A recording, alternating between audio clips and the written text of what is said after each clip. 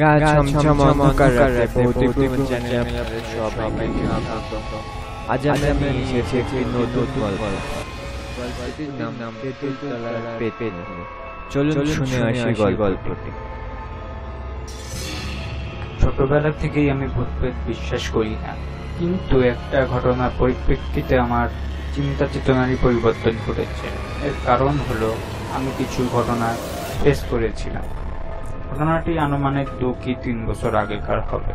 আমরা শহরে বাস করি। আমরা বলতে বোঝানো হয়েছে, আমিও আমার ভাই, কারণ আমরা দুজনকে নিয়েই ঘটনাটি ঘটেছিল। আমরা দুজনই শহরে বসবাস করি, অতএব আমাদের কোনো ভূত পেতে বিশ্বাস করা প্রয়োজনীয় হয় না। কিন্তু একটি ঘটনা ঘটেছিল। সময়টা দুই তিন বছর আগেকার। আমার খালা বাড়িতে আমি ও আমার ভাই বেড়াতে গিয়েছিলাম। সেখানে বেড়াতে গিয়েছিলাম, এবং ঘুরতে গিয়েছিলাম। আমাদের খালা বাড়ি অনেক গ্রাম্য এলাকা। গ্রাম্য অনেক বলা যেতে পারে, কারণ আটটা নটা না বাজতেই সেখানে সবাই ঘুমিয়ে পড়ে, এবং কোনো কারেন্টও ছিল না সেই এলাকাতে। তাই বলা যেতে পারে ভীষণ গ্রাম্য এলাকা। সেইখানে আমরা গিয়েছিলাম ঘোরার জন্য। এলাকাটা খুবই সুন্দর ও মনোরম ছিল, কিন্তু কিছু কিছু জায়গা ছিল যেখানে কিছু আজগুবি ঘটনা হতো, যা আমরা কিছু মানুষের কাছ থেকে শুনতে পেয়েছি। যেরকম আমাদের এলাকাতেই একটি তেঁতুলতলা আছে, সেই তেঁতুলতলাতে বলে কিছু ভূত পেট থাকে, কিন্তু আমরা বিশ্বাস করতাম না। তো খালার বাড়ির সেই তেঁতুলতলাকে আমরা এক্সপ্লোর করার জন্য আমিও আমার ভাই একটি পরিকল্পনা করতে লাগলাম যে সেখানে গিয়ে একটি রাত থাকা গেলে কেমন হয়। আমরা তেঁতুলতলায় থাকার পরিকল্পনা করলাম। বলা যেতে পারে ইচ্ছুক হয়ে পড়লাম সেখানে থাকার জন্য। তাই পরিকল্পনা অনুযায়ী দুই, তিন দিন পরে একটি রাতে আমরা সেখানে যাব এবং যে সেখানে থাকব। রাত্রি চাঁদনি রাত হবে, কারণ একটু আলো তালো দরকার, অন্ধকার চারিপাশে।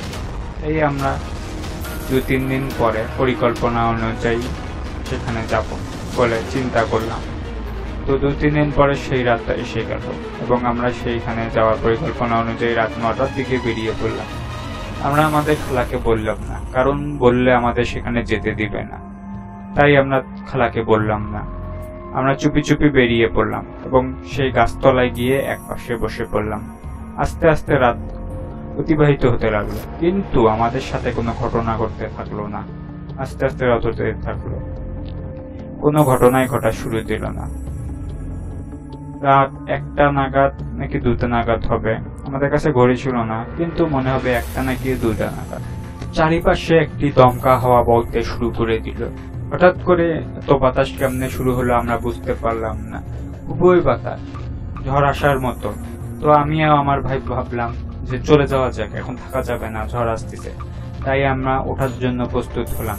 মানে যেই উঠতে গেলাম, সেই আমরা গাছের আগালের দিকে তাকালাম।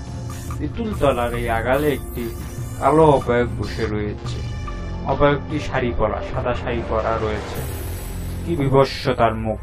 মুখ একবারে কালো কুচকুচে। সাদা শাড়িটা দেখে, ও তার মুখটা দেখে আমরা ভীষণ ভয় পেয়ে গেলাম। এবং চারপাশ থেকে ভীষণ ঝড়। আমাদের মনে হয় সামন দিকে এগাতে দিচ্ছে না।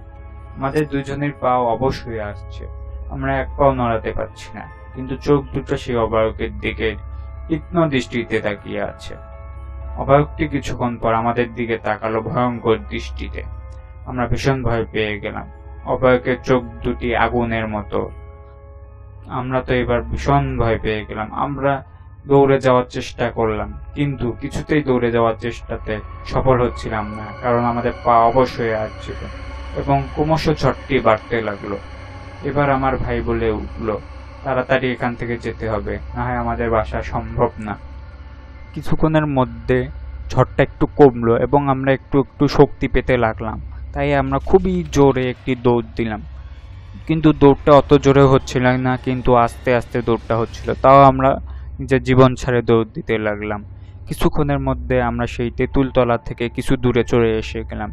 কিন্তু পিছনে তাকিয়ে দেখি অবয়বটি আমাদের দিকে তীক্ষ্ণ দৃষ্টিতে তাকিয়ে রয়েছে ভয়ঙ্করভাবে। আমরা আরও ভয় পেয়ে গেলাম। আমরা আরও জোরে দৌড়াতে লাগলাম। কিন্তু আমাদের পা আবারও অবশ হতে লাগল। আমরা তো আবার ভয় পেয়ে গেলাম। আস্তে আস্তে আমরা এখানে বসে পড়লাম।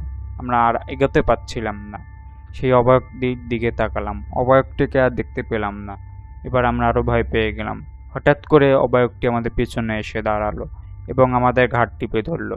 হঠাৎ করে আমরা অজ্ঞান হয়ে পড়ে গেলাম। আমার আর কিছু মনে নাই। সকালবেলা আমার ঘুম ফিরল। হুশ ফেরার পরে আমি আমার নিজের খালা বাড়িতে আবিষ্কার করলাম এবং আমার পাশে আমার ভাইও শুয়ে রয়েছে। আমাদের কিছু হুঁশ নেই।